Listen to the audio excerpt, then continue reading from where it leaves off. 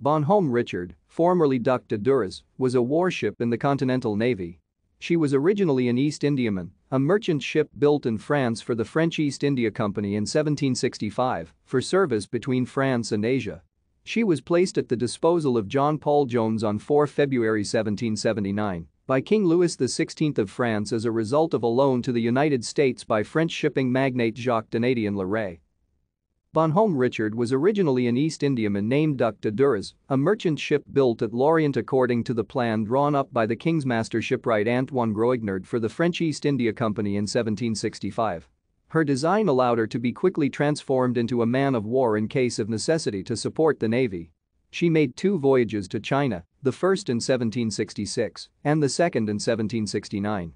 At her return the French East India Company had been dissolved and all its installations and ships transferred to the French Navy.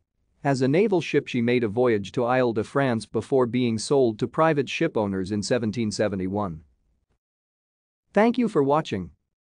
Like and subscribe if you would like to view more of our videos. Have a nice day.